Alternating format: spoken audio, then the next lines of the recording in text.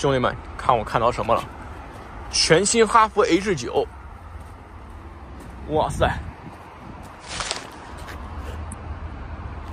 磨砂灰的，哇，这造型真是，看图片的话真以为是大号猛龙，其实区别，这个现场的这种体魄感真的很足。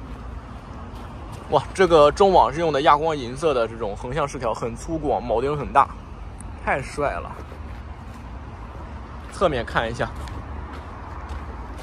它是比旁边那个，大家可以去参考一下炮那个皮卡，其实炮皮卡就已经挺有那种体魄感了。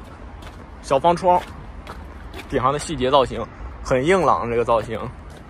你要说这像路虎，我觉得行；说像猛龙，其实有一些相似元素，但是真的不像像路虎。这侧面这感觉，这是个方盒子。刚才那边卸货卸的是一个小书包备胎的，啊，那个卸的是一个那个轮胎备胎的。我喜欢轮胎备胎的。侧面的车牌框，哎，造型真行，很硬朗，这个角度拍，啊，跟 H2 跟炮比，真的很大，跟那边的大狗对比一下，看一下车内，哇，哇，车内好奢好奢，这这个类似于酒红棕的这种配色，就是棕色偏一点酒红色，大屏，坦克的挡把。看看都有什么功能啊？放大一些，哇！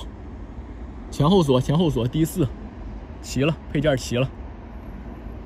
这一款有通风加热，应该还有一个按钮是座椅按摩吧。后边来看一下，空间是挺大的，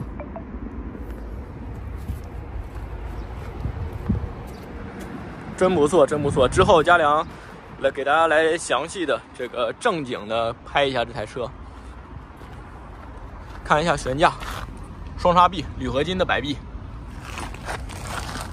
底盘，底盘很规整，这都长城的一贯的风格，很板正。这个车，二六五五五十九寸的，如果十八寸的话，配一些 AT 胎或者 D 型轮胎会更好一些。应该它是有，肯定是有这个选装包的。看一下车尾。呃，它也是有备胎的，备胎是在这儿的，那必须有啊。后整体桥的悬架，拖车资质啊，拖车快车狗，拖车资质是必须有，现在越野车必须得有，真帅。